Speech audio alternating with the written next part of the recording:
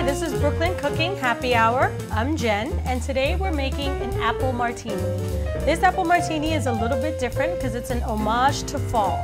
We're using an apple cider syrup. We're taking mulled apple cider fresh from the market and adding cinnamon, clove, nutmeg, and all the fall spices to make it absolutely delicious. Our ingredients are very simple, just vodka, the syrup, and lemon juice.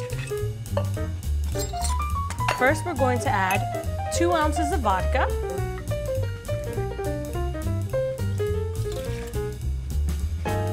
Then we're going to add three quarters ounce of lemon juice.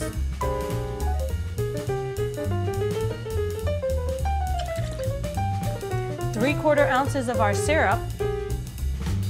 Spiced apple syrup, delicious. Two dashes of bitters, Angostura bitters, you can find them at any market.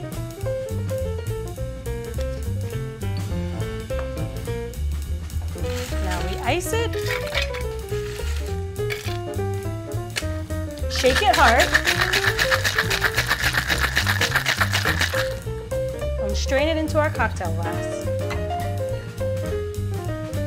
Notice that beautiful cider color.